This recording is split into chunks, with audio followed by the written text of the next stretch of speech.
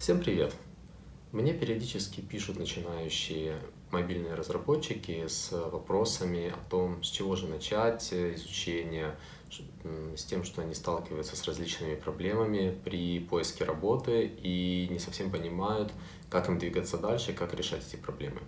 Э, в этом видео я постараюсь поделиться своим опытом и рассказать э, от начала и до конца, как же пройти весь этот тернистый путь э, поиска работы, начиная от э, изучения теории и заканчивая, как же нам вести себя при получении отказов от работодателей и как же, собственно, эти отказы превратить в предложение о работе. Поэтому, если вам эта тема интересна, оставайтесь. Сначала немного обо мне. Э, я iOS-разработчик с практически десятилетним опытом работы в индустрии. И за время своей карьеры я успел побывать э, по различные стороны этих баррикад. Я э, нанимал людей в компании и в свой личный проект. Я был много раз со стороны соискателя. Я получал отказы, я получал оферы, и поэтому я плюс-минус представляю, как это все устроено, какие компании есть, как с ними стоит взаимодействовать и как же себя вести. Э, мой, э, мое видео будет по большей части ориентировано на мобильных разработчиков, потому что я, собственно, им и являюсь. Но есть множество моментов, которые общие для всей индустрии, и я думаю, даже если вы не занимаетесь мобильной разработкой, то вы все равно сможете что-то Э, для себя почерпнуть. А, начнем с определения приоритетов для изучения. А, вот, например, вы являетесь э, начинающим вообще разработчиком, у вас есть э, желание работать в индустрии, но вы не совсем понимаете, что же вам делать, с чего вам стоит начать. Первый момент, который я считаю критически важным, это английский язык так как э, работа является глобальной, то есть мы не зависим от э, конкретной страны, потому что мы делаем те вещи, которые э, продаются и которыми пользуются люди по всему миру. Следовательно, нам придется как минимум общаться с множеством людей, которые не говорят на вашем родном языке. И так как язык международного общения это английский, то вам следует его знать. Вторая причина, почему он вам нужен, это то, что обучающие материалы все выходят в первую очередь на английском языке, и очень часто, когда появляются переводы книг, каких-то курсов и так дальше, то они уже устаревают. Э, очень часто бывает так, что в магазинах лежат книги э, по, скажем, разработке под iOS 5.0, и они уже там много лет лежат, они уже просто никому не нужны. И вся проблема в том, что пока они прошли цикл перевода, вышел уже к тому времени iOS 7, и, соответственно, iOS 5 уже никому не нужен. Э, поэтому учить английский язык для того, чтобы оставаться на э, острие прогресса и э, хорошо взаимодействовать с, со своими коллегами, с заказчиками, с менеджерами и так дальше, с работодателями по всему миру. Также во многих компаниях практикуется ведение э, документации внутри компании на английском языке исключительно.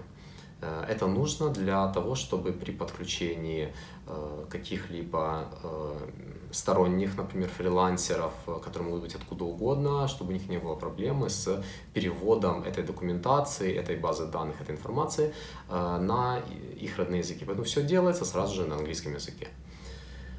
Следующее, что важно сделать, это разделить базовые знания и надстройки. Э, что я подразумеваю под базовыми знаниями? Это в первую очередь язык программирования. Э, в случае с iOS-разработкой это Swift. Есть прекрасная э, книга, э, которую выпустил, собственно, как бы редактирует сам Apple, э, которая называется, так называется Swift Book, Swift Guide. Э, там описано все очень хорошо, э, без лишней воды, все очень, очень четко, и я вам советую ее изучать, потому что периодически выходят обновления языка, что-то меняется, и э, вам нужно постоянно держать руку на пульсе. То есть язык это самая-самая основа, это то, на чем стоит, стоит все по сути. Следующее – это SDK. При, для iOS разработки я имею в виду iOS SDK, конечно, то есть это вот все то, чем вы пользуетесь, когда вы пишете приложение, не используя никакие сторонние решения. То есть это как вы силами системы взаимодействуете с сетью, э, как вы пишете код, как вы э, показываете экраны, э, управля... то есть вот эти все вьюшки, вью-контроллеры, и вот, вот, все, вот, вот это вот все, это все как бы, в общем называется SDK, и вам следует в нем разбираться. Во всяком случае, вам следует разбираться в тех базовых вещах этого SDK, которые используются каждый день и которые нужны в буквально каждом приложении. То есть это, э, это view, э, это э, какие-то анимации, это, например, те тоже взаимодействие с сетью и так дальше. То есть вот для этого стоит попробовать писать собственные проекты, возможно, по туториалам и так дальше, чтобы вы поняли, что же используется постоянно, а что используется редко. И сконцентрировались на изучении того, что используется часто, Э, и чтобы вы просто понимали вот эти вот редкие, редкие моменты, что, что они есть, но первоначально вам, я не советую вам э, на них концентрировать свое внимание. Следующее очень важно – это инструменты разработки, то есть это IDE, это системы контроля версий и прочие необходимые э, моменты. Почему это важно? Потому что код в блокноте никто не пишет – и если вы не можете пользоваться IDE-шкой, э, то вы, по сути, не можете писать код, даже если вы знаете язык и знаете, э, собственно, что же вам нужно делать. Э, в IDE встроены системы для тестирования, системы сборки, то есть, ну, как IDE взаимодействует с системами сборки, и поэтому ну, вам это нужно, это ваш основной инструмент, по сути. И очень-очень важно, это, конечно же, компьютер-сайенс темы. Э, это настолько важно, потому что э, ну, это нужно везде, это самая база, это э, база того, на чем стоит, стоит язык, на чем стоит все программирование и вы не можете, по сути, писать эффективный и хороший код, хорошее приложение, если вы, э, ну, по сути, не понимаете, как это все работает. Э, скорее всего, вы просто надергаете какой-то код без особого понимания, что же он делает, как-то его слепите воедино, и э, ну, как бы и все. Ну, это не наш подход, так делать я вам не советую. То есть это искать чужой код это хорошо, но не стоит э, на это полностью полагаться. Вам нужны собственные фундаментальные глубокие знания. А, что же включает в себя компьютер-сайенс, то, что нужно в первую очередь вот вам, как начинающему разработчику? То есть это работа с памятью, а, с сетью, то есть вы должны понимать, как работает REST API, а, какие бывают типы запросов, хотя бы get и post, чем они отличаются, зачем, зачем они нужны, какие есть, какая специфика для каждого из них, коды ответов, статус-коды, э, что они значат, какие вообще бывают, какие чаще всего встречаются и так дальше.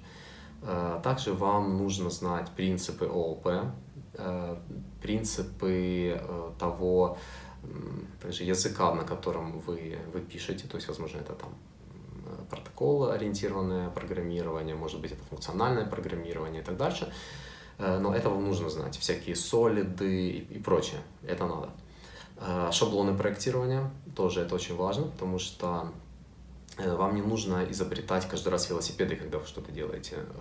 Вы просто берете некие шаблоны, вы их используете, и это нужно для того, чтобы другие разработчики, которые работают с вами на одном и том же проекте, э, сразу же могли посмотреть на ваш код и понять, что да, вот этот шаблон, и он явно нужен вот для того-то, для того-то, и то есть сразу всем понятно, э, что вы хотели сделать, и, и скорее всего, какую проблему вы этим решаете. Это как бы некий, эм, ну как, как международный язык общения, скажем так, это некие конструкции в коде, которые э, всем э, сразу же должны быть понятны с первого взгляда. И, собственно, системный дизайн.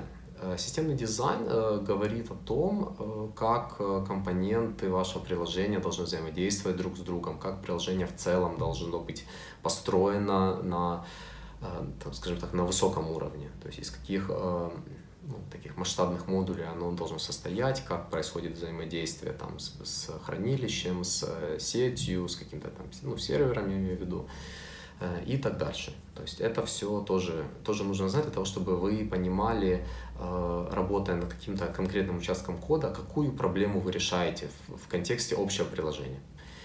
И э, о чем я еще хотел сказать, это, собственно, вот эти надстройки, про, про которые я сказал. Э, это сторонние библиотеки и какие-то инструменты, которые не являются основными. Что это? Это, например, различные системы для аналитики. Это э, всякие готовые решения для бэкэнда, например, тот же Firebase. Э, многие работодатели требуют знания, например, Firebase для э, того, чтобы ну, устроиться к ним на работу, просто потому что э, это стороннее, скажем так, решение, оно стало э, супер популярным. И поэтому также следует опираться на эти требования. Но вам, я вам не советую сразу же бросаться э, на их изучение, потому что это все, по сути, Э, всякие обертки над базами данных и прочее, это все построено поверх того, что я назвал базой. Поэтому, если вы будете знать базу, то вы всегда сможете разобраться с, со всеми этими вот настройками.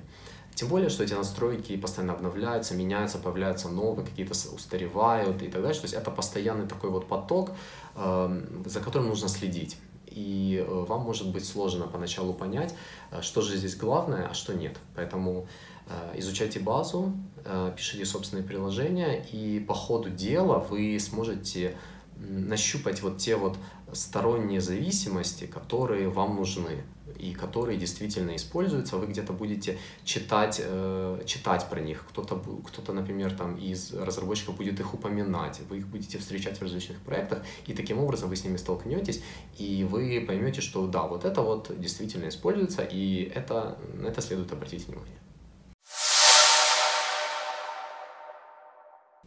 Следующий важный момент, когда вы это все изучили, это, или, по крайней мере, когда вы почувствовали уверенность в своих силах, то просматривать вакансии. Э, конечно же, следует это сделать в первую очередь для того, чтобы хотя бы понять, на что ориентироваться, но э, после того, как вы изучили вот эти вот основы, вы сможете э, оценивать вакансии с технической стороны более предметно и понимать, что вам больше подходит, что вам меньше. И сейчас я хочу вам рассказать на примере трех вакансий, на что стоит смотреть них с технической точки зрения. Начнем. Первая вакансия – это iOS-разработчик, судя по всему, они ищут медла, и вот они требуют, это вот обязательные навыки, это понимание ООП, э, объектно-ориентированного программирования, э, протокола э, ориентированного программирования и, собственно, в целом разработки нативных приложений. А, также вам требуется понимание полного цикла разработки приложения, управления памятью и вот этого системного дизайна, а, о котором я говорил. А, что, что состоит в, что подразумевается под полным циклом мобильной разработки? То есть это начиная от формулирования требований и заканчивая, собственно, паблишингом этого приложения в сторы и наблюдением за его жизнедеятельностью, за крашами и так дальше. Э, понимание дизайна, архитектурных паттернов и реактивного программирования. То есть вот конкретно этой вакансии нужно реактивное программирование. Э, также э, опыт с использованием коннекшена, то есть это HTTP, конечно, REST, JSON и WebSocket. То есть это вот то, о чем я сказал. То, здесь есть то, чего я не сказал поначалу, ну так немножко упомянул, возможно, это реактивное программирование – Э, это сейчас становится все больше и больше э, трендом. Пока что это не является э, прямо must-have для вакансий, но в целом следует на это обратить внимание и познакомиться в случае с iOS-разработкой как минимум с комбайном. Также вот здесь вот есть секция, что будет плюсом. Это как раз и есть вот те вот сторонние некие сервисы и зависимости, о которых я сказал, на которых не, не нужно бросаться на них в первую очередь. И поэтому, собственно, здесь они и идут плюсом. То есть это всякие гугловские сервисы, это Firebase, гугловские карты и э, Firebase Cloud Messenger, это для э, отправки push-уведомлений. SPM — это Swift Package Manager, это, скажем так, способ распространения сторонних зависимостей для iOS проектов, для свифтовых, для свифтовых проектов. Как у POTS тоже, но работает немножко по-другому. И вот это вот некие тоже как библиотеки, вот для реактивщины, это вот в этих двух я не совсем уверен, поэтому не, не хочу обманывать. То есть это тоже некие достаточно специфические. Э, конечно, если вы знаете всю базу, то вам не, не, не станет проблемой это все изучить. И, собственно, э, тулзы — это Git, конечно же, Bitbucket, э, ну и Jira для ведения задач и так дальше. То есть, скорее всего, пока вы не начнете работать на реальном проекте, то с Jira вы не столкнетесь. Bitbucket — это, ну, очень похож на, по своей сути на GitHub, ну, если не вдаваться в детали. И я вам советую просто все ваши проекты, которые вы делаете, заливать на GitHub, ну или на Bitbucket, если вы хотите, лучше на GitHub, потому что это удобнее показывать. И добавлять свое резюме, также пробовать различные э, вещи, например, такая там GitFlow, то есть чтобы вы понимали, как вообще может быть с этой стороны построен процесс разработки в компаниях. Э, плюшки. Ну, плюшки это все хорошо, но если у вас еще нет опыта работы, вы ищете свою первую работу, то я бы вам не советовал э, на них, на плюшках акцентировать внимание, потому что самая главная плюшка, которая вам нужна, это, э, это опыт работы. Это то, что вам сейчас нужно, и вам нужно это получить, э, ну, не хочу говорить, что любой ценой, но это вам супер-супер важно.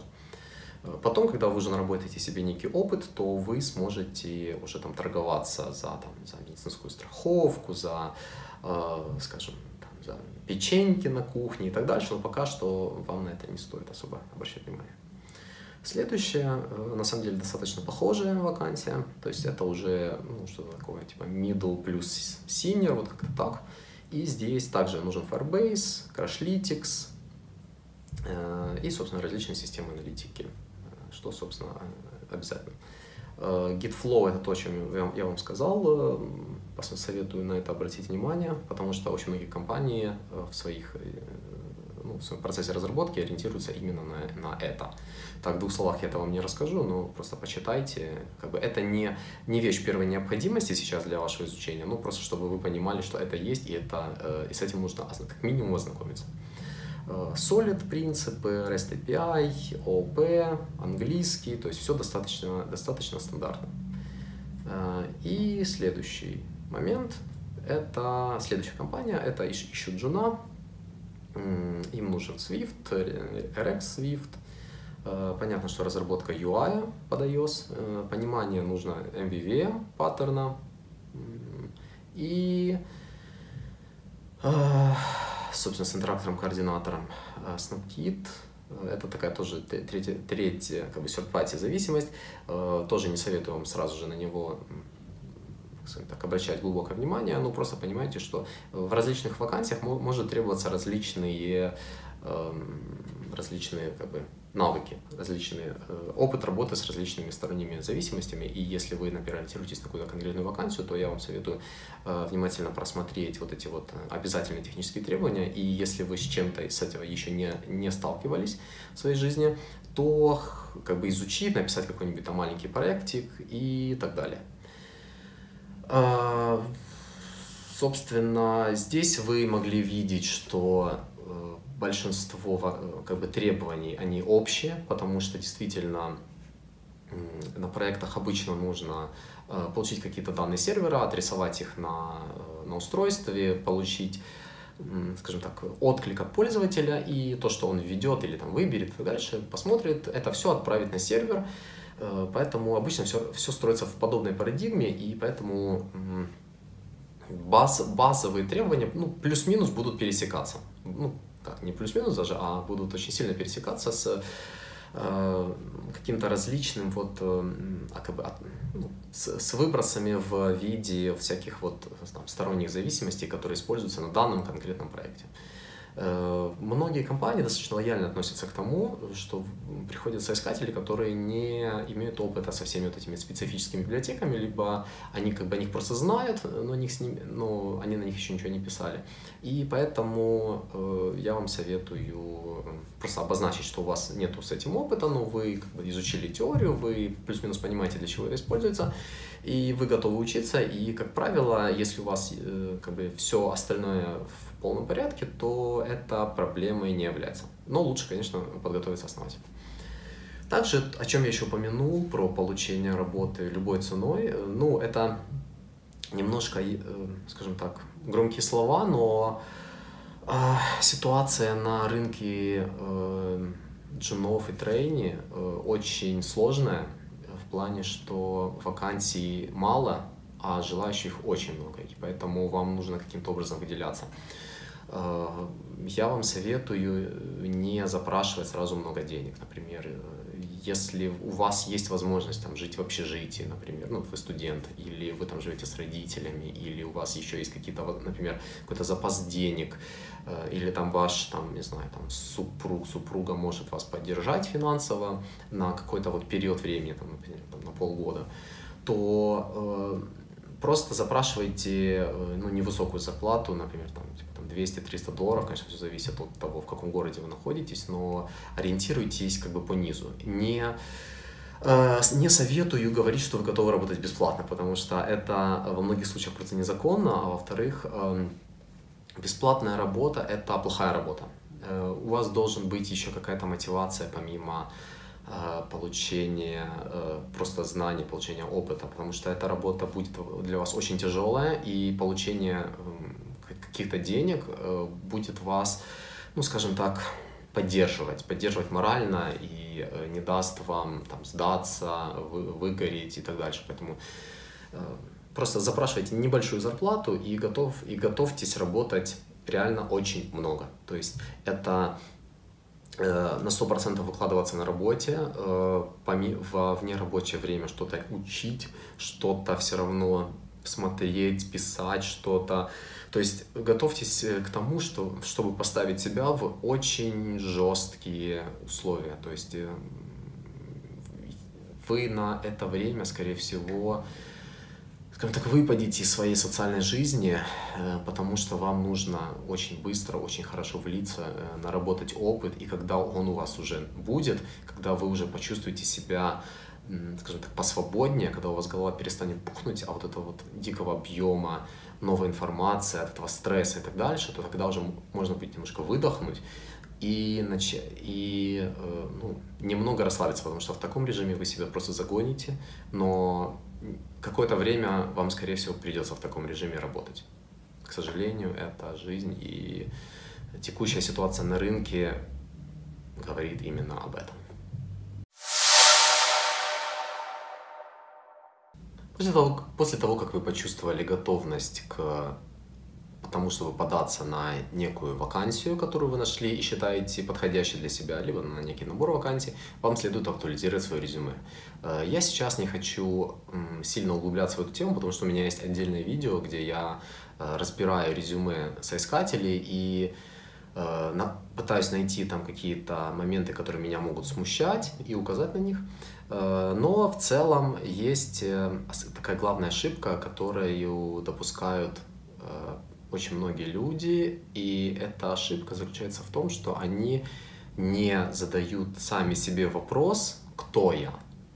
То есть они не, не до конца, видимо, понимают, что есть как бы сказать, некая проблема, что когда вы открываете, вы, вы, например, являетесь там HR или рекрутером, вы открываете резюме соискателя, и вы видите, что он там и жнец, и, на дуде и грец, как говорится. То есть и сейчас вот он там решил там стать разработчиком. И, ну, это может быть проблемой, потому что может возникнуть впечатление, что этот человек, наверное, какой-то несерьезный, что вот он не может определиться, чем, чем, чем же он, собственно, хочет заниматься. И он там в скиллы свои пишет все подряд. И для, просто для объема, что как будто бы чем, чем объемнее резюме, тем лучше. Но на самом деле резюме должно отвечать на простые вопросы и в первую очередь, э, с первого взгляда должно быть понятно, кто вы и как вы себя позиционируете. То есть я сейчас хочу вам просто показать два профиля на LinkedIn, э, которые я считаю хорошими, и чтобы вы просто понимали, на что плюс-минус стоит ориентироваться, потому что когда вы готовите свое резюме, просто берите эм, за основу уже чье-то резюме. Просто смотрите, как структурирована информация, как что описано и так дальше. И, скажем так, переписывайте, сохраняя общую структуру под свой опыт. Даже если у вас опыта еще нету, все равно э, пишите о том, какие курсы вы закончили, какое у вас есть образование, какие вы сделали проекты э, и так дальше. То есть э, не нужно писать какую-то лишнюю информацию, но то, что у вас уже действительно есть, э, раскройте это по максимуму. И вот первое, первое резюме – это человек, возможно, вы его знаете, потому что он ведет э, достаточно хороший блог, который я сам с большим удовольствием читаю. Э, посмотрим же, как он себя описывает. То есть э, сразу же в шапке написано, кто он. Это, это важно. То есть в резюме тоже также есть, как, бы, как вы себя позиционируете, кто вы. А, есть короткий вот такой вот типа summary, то есть чем человек занимается, в чем у него есть опыт, э, с чем он сталкивался, буквально вот как видите, это там вот каждый пункт, он ну, в двух словах, то есть не нужно сильно расписывать, расписывать. Это для тех, кто смотрит резюме по диагонали, э, либо для тех, кто использует какие-то системы, которые э, автоматически анализируют резюме. И просто ищут ключевые слова. То есть здесь просто опишите технологии, э, какие-то, не знаю, фреймворки и так дальше, с чем вы работали, э, чтобы это было сразу же, на первый взгляд, можно было понять вообще, кто вы. Э, если у вас есть какие-то там достижения, какие-то блоги и так дальше, то описывайте это, указывайте. Это, это очень дает вам большое преимущество по сравнению с остальными соискателями. И, собственно, опыт это э, в каких э, местах вы работали, в каких компаниях, э, что вы там сделали, над какими проектами работали, если вы можете их указать. Это, это, это все очень хорошо. Это сразу же либо снимет много вопросов к вам на собеседование, либо, например, создаст какие-то вопросы, но которые по существу. Например, а расскажите, чем вы там как вы решали вот такую-то проблему вот на таком-то проекте, потому что она у вас указана, что этот проект есть на такую-то тематику. Ну и, собственно, образование, какие-то рекомендации, если возможно, собрать, но опять-таки релевантные.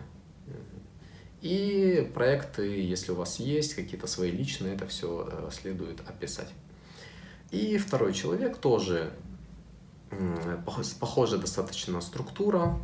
Э, здесь мы видим тоже короткое summary, то есть кто он, вот, говорит, я iOS-разработчик, буквально в первых же словах. Прекрасно. Э, работал с и указывает вот перечень каких-то технологий, с которыми он работал, для того, чтобы по ключевым словам э, можно было сразу же понять вообще, э, в, в чем у него есть опыт и насколько он подходит под вашу вакансию. Опыт, вот тоже очень хорошо написано, чем он занимался на этом месте работы, то есть работал с тем-то. Ну, на самом деле я люблю еще, когда пишут, например, какие-то достижения, то есть там, реализовал там такую-то систему и так далее. Например, систему там, сбора там, данных э, об ошибках и отправки их там, на сервер. То есть это, это сразу круто. Ну, даже если это написано вот так, это лучше, чем когда ничего не написано. И образование, э, какие-то курсы, если есть, и ну, знание языков, понятно, это, это важно, об этом я уже сказал. Э, собственно, это все, что я хотел сказать про позиционирование себя на рынке. Просто, когда вы пишете резюме, вы отвечаете на этот самый вопрос, кто я, кто я такой и как я хочу, чтобы э, другие люди меня воспринимали. Медийная активность. Казалось бы, вы начинающий разработчик. Причем тут вообще медийная активность? Что можно написать, если вы сами еще плаваете, если вы, у вас еще нет опыта. На самом деле можно, можно и нужно. Я считаю, что это очень-очень важно, это очень нужно. И почему это важно? Потому что э, это помогает вам, во-первых, в самообразовании, что когда вы решаете, что так, сейчас я напишу, например, там статью про Swift UI. Для этого недостаточно разобраться абы как в теме. Для этого нужно хорошо ее знать, ну, как минимум. И вы начинаете, начинаете разбираться, у вас появляется некий дополнительный стимул разобраться. Хорошо, вы разобрались, вы начинаете реализовывать, вы начинаете писать эту статью. Что это вам дает? Это вам дает систематизацию ваших знаний. И когда у вас есть готовая статья, либо готовое видео на эту тему, то также у вас появляется более хорошее понимание темы, потому что вы сами ее проработали, вы в ней разобрались, вы ее изложили, вы ее рассказали кому-то. Это все методы запоминания информации. И э, в, конечном итоге вы себя будете чувствовать гораздо увереннее, вы запомните гораздо больше. И поэтому это, это важно. Это, это можно делать даже если у вас еще нету практического опыта, потому что не все люди ищут информацию, касающуюся практического опыта. Также очень часто э, гуглят просто, например, как сделать там какую-то там фичу в, там, в UI, например, либо там в языке и так дальше. И это как некие вот такие вот как э, атомизированная информация, и каждый кусочек этой информации, он полезен. Он, э, я сам очень часто гуглю, как какие-то вещи реализовать в Swift, какие-то ну, достаточно простые вещи. И я нахожу статьи э, начинающих разработчиков, которые ну, действительно помогают. Они просто изложили это все простым языком доступным. И я просто просмотрел и такой, о, ну все, все понятно, взял и сделал очень хорошо на самом деле это работает. Э, и плюс это вам дает некую медийность. То есть вы можете это добавить в э, свое резюме. Э, многие компании любят, когда есть разработчики, которые могут чему-то обучить других. Потому что это важно, на самом деле, делиться информацией. Это помогает не только вам, это помогает всем окружающим расти. И компании заинтересованы в том, чтобы их разработчики улучшали свои скиллы. Э, следующий момент, э, тоже очень, очень с этим связанным, это собственные проекты. Э, то есть, если у вас есть, например, там, 10 каких-то репозиториев на вашем GitHub аккаунте, в которых там у вас там, 10 Hello World и ну, наподобие того, то лучше бы, с моей точки зрения, у вас был бы один проект, который будет использовать все то, что вот, вот в этих вот 10 репозиториях лежит, то есть в каком-то репозитории вы там игрались там, со Swift UI, в другом там с комбайном, там, в третьем вы там попробовали там MVVM, например, там паттерны и, и так дальше. Э, лучше, если у вас есть один проект, в котором вы все это поместили, и тогда э, в процессе вы сможете понять, как это все друг с другом взаимодействует. Потому что в проектах реальных э, подобные вещи, они не используются изолированно, они встроены в проект, они встроены в код, в логику и так дальше.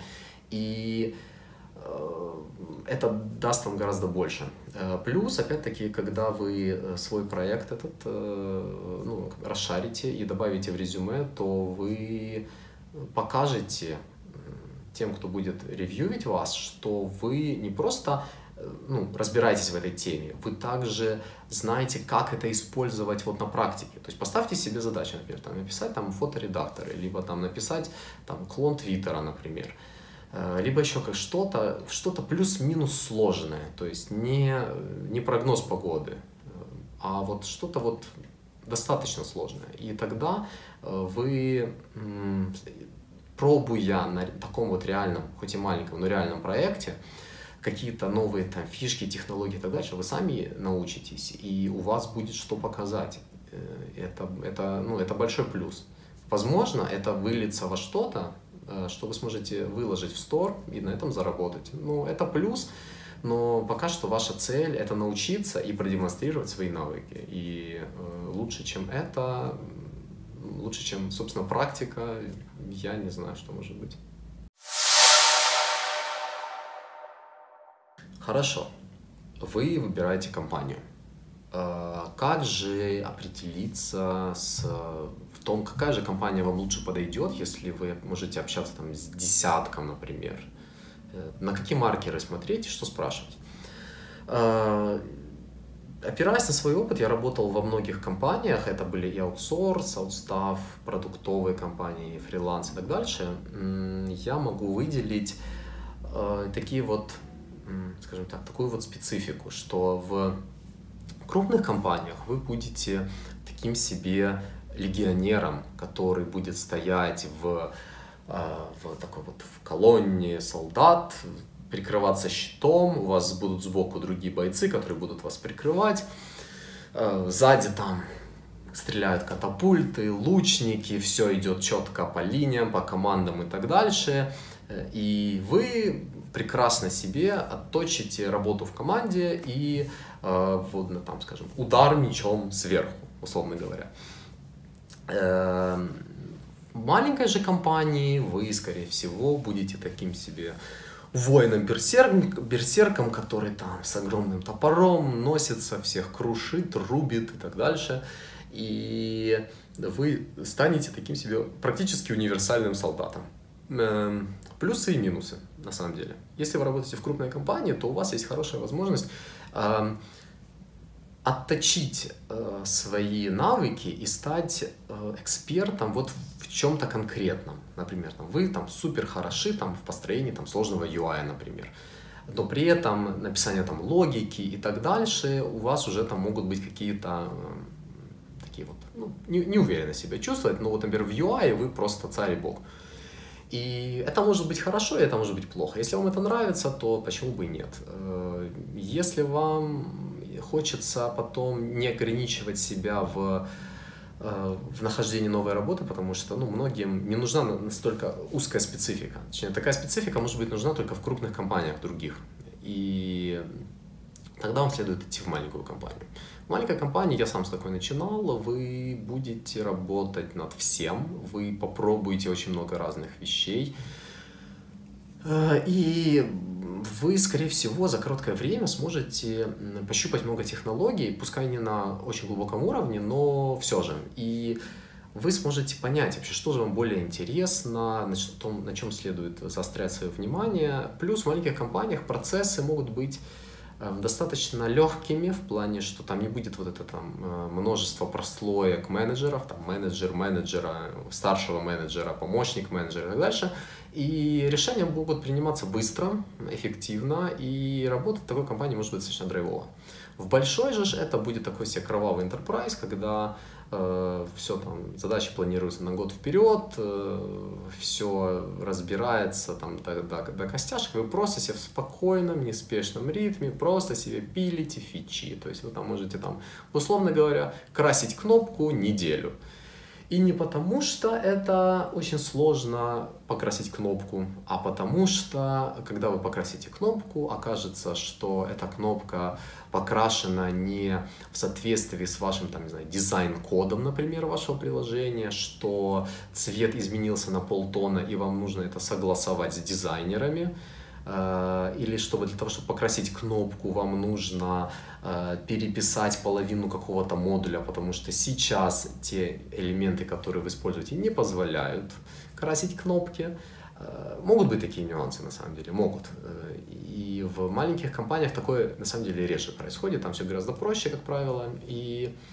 но там сложнее стать экспертом в чем-то.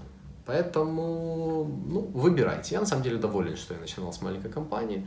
Э, потому что это дало мне достаточно широкий кругозор в, в технологиях, в, ну, как бы в такой вот, в iOS-разработке, и я дальше плюс-минус мог ориентироваться э, тем же, что, что же я хочу дальше делать, и что, что с чем как бы взаимосвязано. Это, это достаточно важно. Э, Э, следующий еще важный момент в этом плане, что маленькие компании обычно ищут уже сформировавшихся разработчиков, то есть не трейни, потому что им, как правило, нет возможности вас учить.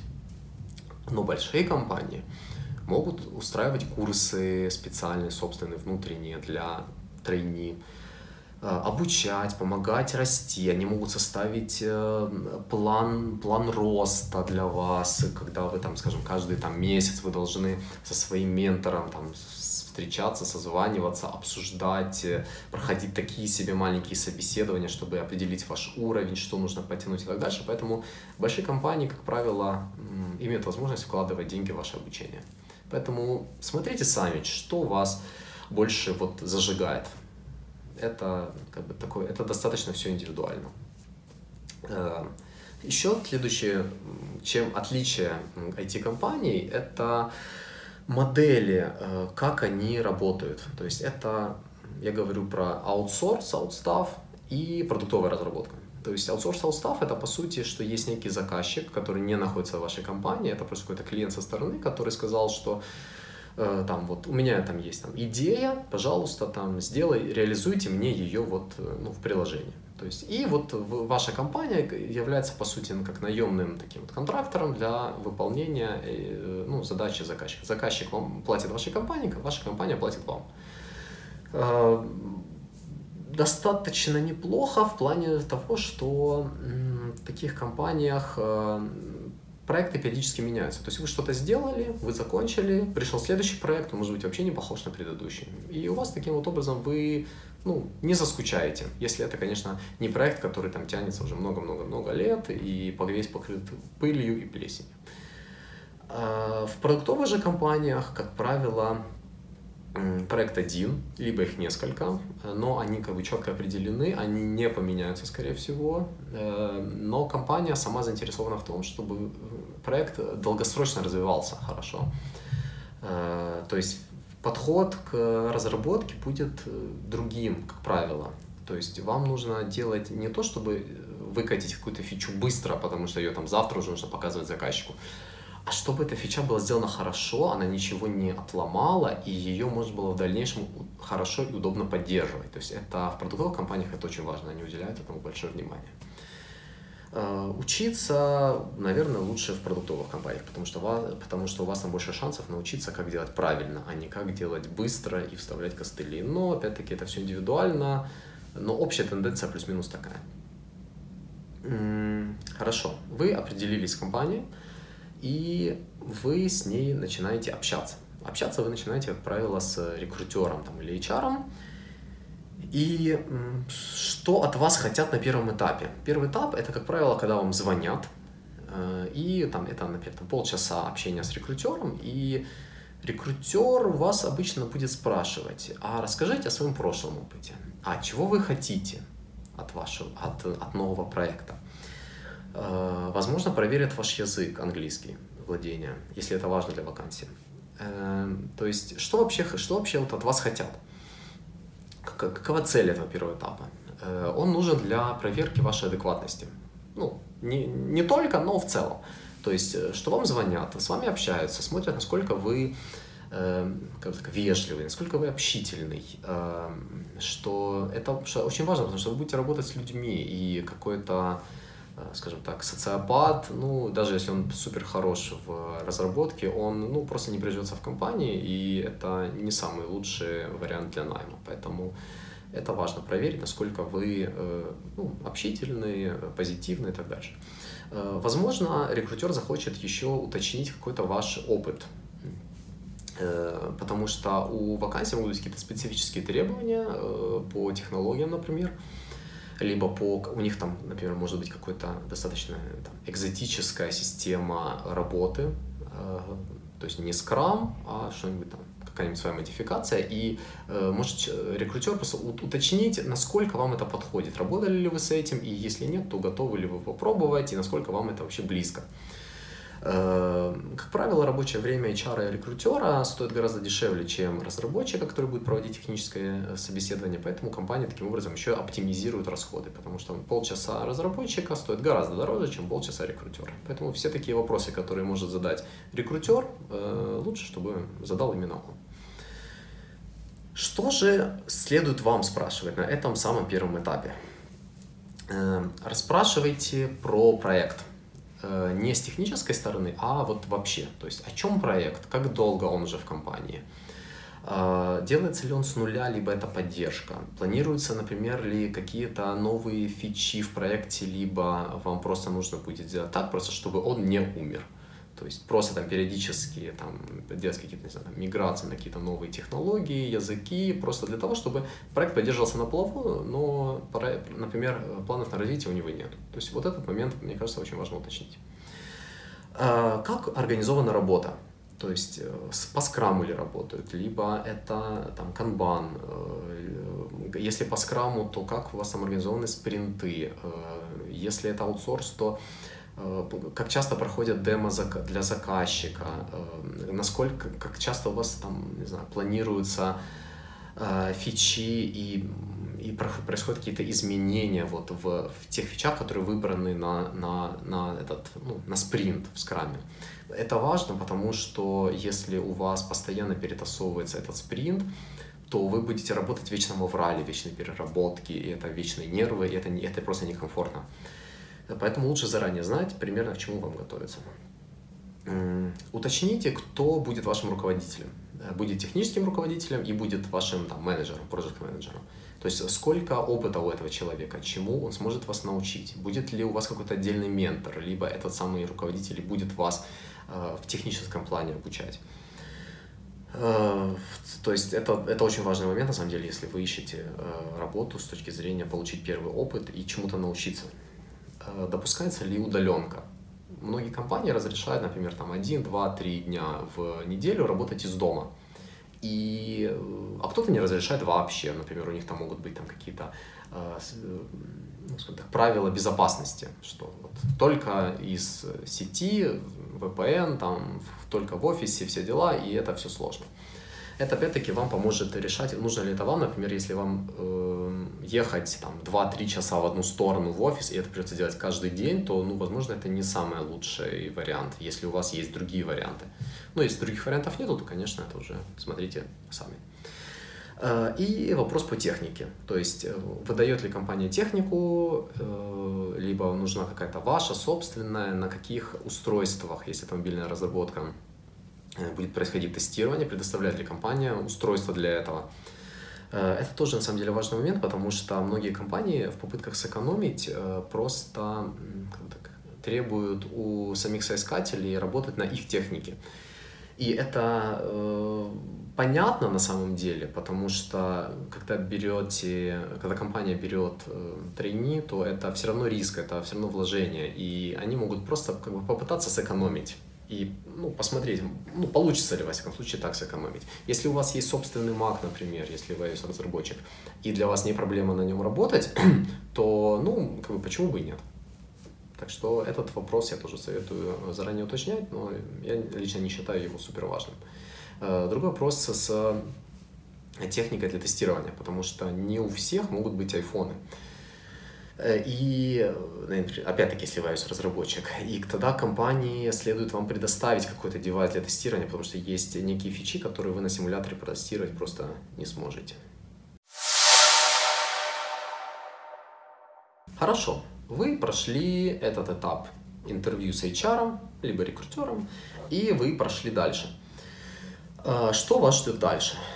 Э, дальше вас ждет как минимум одно техническое собеседование – на самом деле у меня было пару раз, когда технического собеседования не было вообще, и после собеседования с рекрутером сразу же давали э, тестовое задание.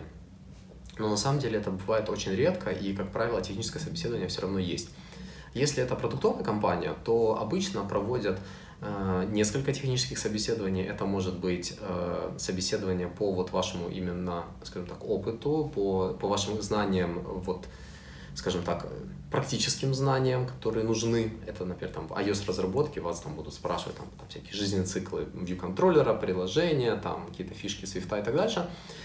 Э, также могут быть этапы, когда вас будут э, спрашивать про какие-то компьютер-сайенс э, темы, то есть это там, оценка сложности алгоритма, там, сортировать массивы, там, крутить бинарные деревья и так дальше. То есть это все зависит от от компании. Э, аутсорс компании реже э, задают такие вопросы, их больше интересует того, что человек может сделать ну, непосредственно практически. То есть бинарные деревья их обычно интересуют мало.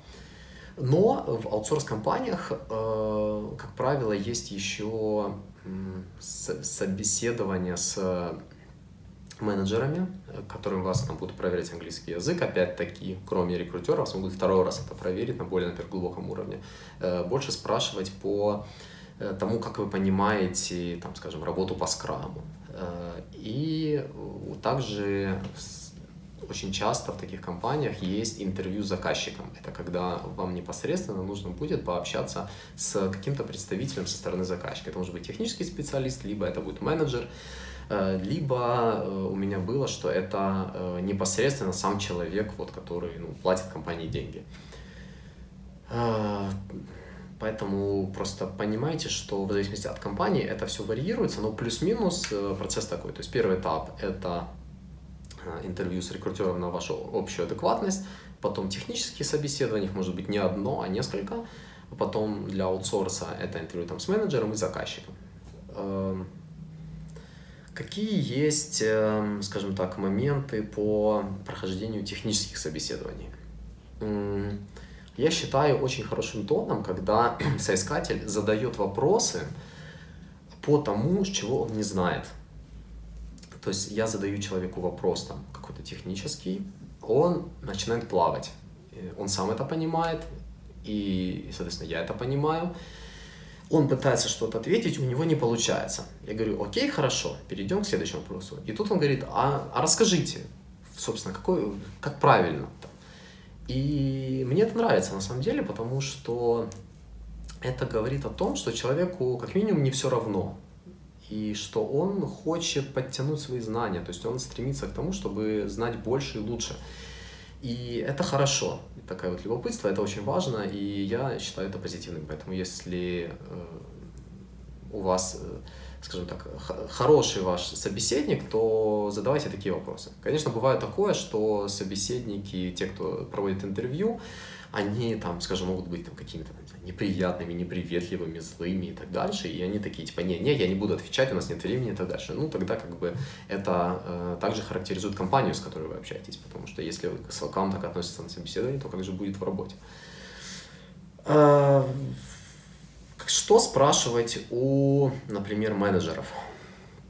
У менеджеров стоит спрашивать, какие долгосрочные планы по развитию проекта Э, какие э, там запланированы, например, майлстоуны, то есть э, как часто происходят релизы приложения и как определяется то, что в них должно войти, какие фичи должны заимплементить вот в течение вот этого вот отрезка времени, там, скажем, каждые там, две недели, каждый месяц и так дальше.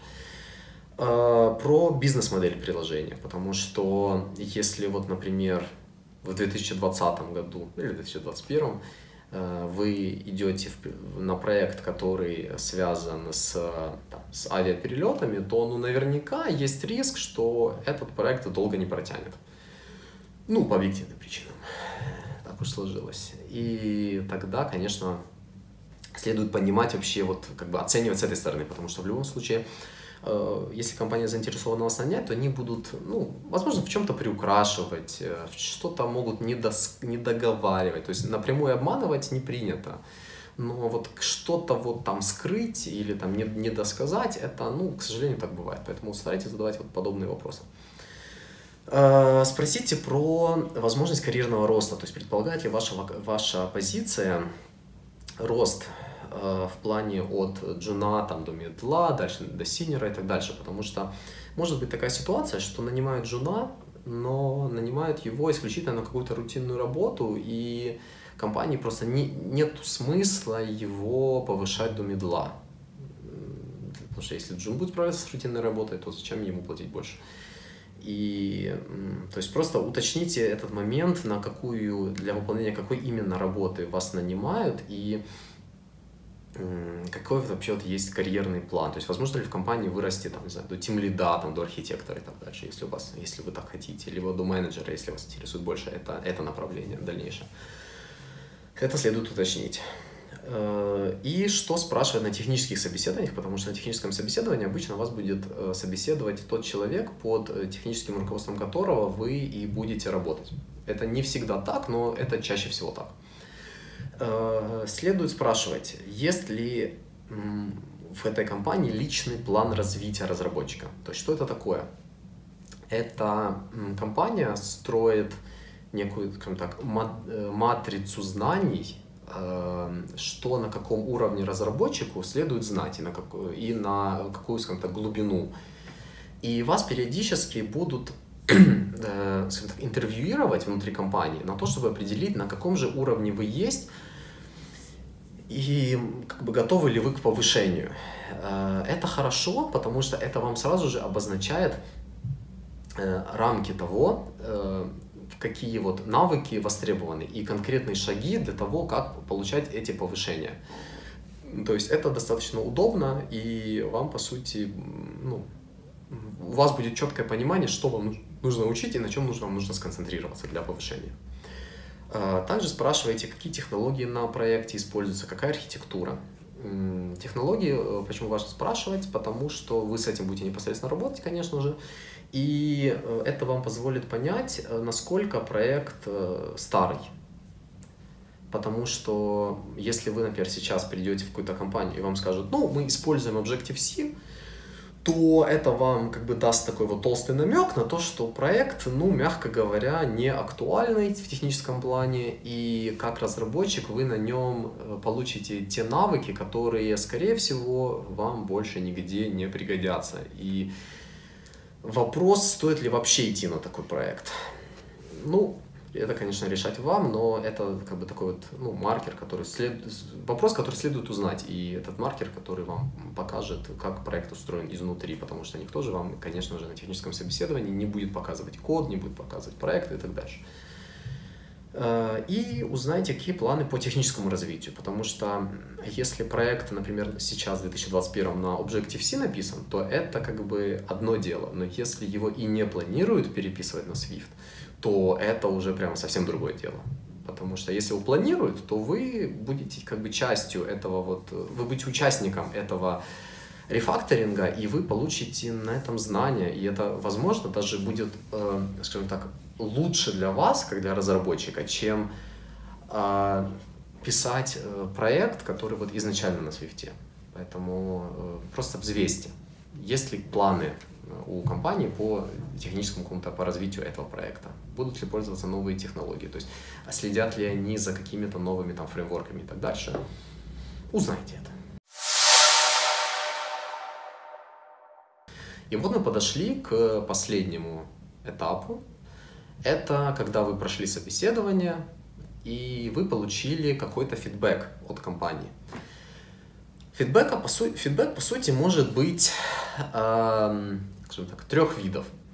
Первый вид, что э, все отлично, мы готовы вас взять, вот вам предложение о работе, это позитивно, мы к этому все стремимся, это хорошо. Следующий, это, это тоже бывает, на удивление, что за то время, пока вас собеседовали, заказчик, например, решил не расширять команду. И вам могут сказать, что вы нам так понравились, но вот, к сожалению, заказчик принял решение заморозить поиск, и вот, к сожалению, мы не можем сделать предложение, но, в общем, так все хорошо, так все замечательно. Э, если у вас это произошло, то ну, не расстраивайтесь, потому что это не по вашей вине, э, но попросите все равно фидбэк именно технический по вам э, от того технического специалиста, который вас собеседовал. Э, потому что если уже, ну, заморозили, ладно, так бывает, значит, вам нужно собеседоваться в других местах, и вам бы было бы интересно знать, а что, как вас воспринимает собеседующий, э, что он считает вам следует подтянуть, а что у вас и так уже хорошо, для того, чтобы вы в дальнейшем концентрировались именно на развитии вот этих вот э, моментов. И третий результат, который мы все не любим, но который бывает очень часто, это отказ. На самом деле отказ это не очень приятно, но это из него можно выжать то, что вам поможет в дальнейшем проходить хорошо собеседование, и этот отказ э, может вас повернуть к тому, что в следующий раз вы получите уже офер непосредственно. То есть, э, если вы получили отказ, что делать? Э, опять-таки, просите фидбэк, просите максимально развернутый фидбэк. Если вам говорят, что э, если вам дают отписку в виде, что ну вот вы нам там мы, пощ... мы решили продолжить с, там, скажем, с кандидатом, э, который показал лучшие знания, то это не фидбэк, это, это просто отписка, и просите реальный фидбэк, реально, чтобы человек, который вас собеседовал, написал, в чем, почему вам отказали, чего не хватило. Возможно, вы технически прошли успешно, но Э, вы там по софт-скиллам не прошли, то есть вас там посчитали, не знаю, угрюмым, например. или вас там, у вас там недостаточное знание там, английского языка, либо вы там по, там, по, по скрам-процессах не, не разбираетесь. Это тоже может быть причиной отказа, на самом деле. И соответственно, ну, получили, ну, и прорабатываете эти, эти вопросы, потому что э, ну, в следующий раз вас, скорее всего, спросят о том же. Э, как я советую проходить собеседование в целом? Э, я всем людям советую ставить собеседование, когда вот вы набираете, скажем так, ну, это компании кандидаты, с которыми вы будете общаться, ставьте технические собеседования через день. Это вам позволит, когда вы прошли одно собеседование, сразу же после него э, вы выписываете темы, которых вы плавали, либо в которые вы объективно поняли, что вы, вы ими не владеете. Вот, вот сразу же, то есть буквально вы, э, если это было онлайн, то вот все, вы там отключились в скайпе и тут же садитесь и тут же их выписываете по свежим следам. То есть э, печалиться вы, вы можете потом. Вот вы пока все помните, вы, вы это выписываете. И дальше проходитесь именно по этим темам, помним, через день, то есть следующее собеседование у вас будет послезавтра. Значит, у вас еще остаток сегодняшнего дня и завтрашний день есть на то, чтобы вот эти вот темы проработать. Потому что на самом деле не так много вопросов э, уникальных задают на собеседованиях. Как правило, спрашивают, ну, плюс-минус одно и то же. И, э, конечно, готовиться следует по каким-то типичным вопросам, но как бы подготовка и именно реальный вот э, разговор с собеседующим это разные вещи, и поэтому, если уж вы где-то облажались, то тогда э, просто проработайте, вы вглубь разберитесь в, этих темах, в которых у вас не получилось, и разбирайтесь в них еще, скажем так, чуть-чуть в стороны, в, в плане цепляйте какие-то соседние темы, потому что они, обычно никакие темы не являются четко изолированными, и вы в любом случае будете касаться других тем. То есть и вот как бы такое, делайте такое Т-образное исследование. То есть одну тему вглубь и две темы так немножко э, меньше. А, соответственно, если вы поставите через день эти собеседования, то у вас будет время для того, чтобы это проработать, и, но также вы не успеете отвыкнуть от самого процесса собеседования, потому что это стресс, это, конечно же, не, не всем приятно, и э, это, ну, и к собеседованиям также нужно, скажем так, морально готовиться, и это такой же навык прохождения собеседования, как и работа.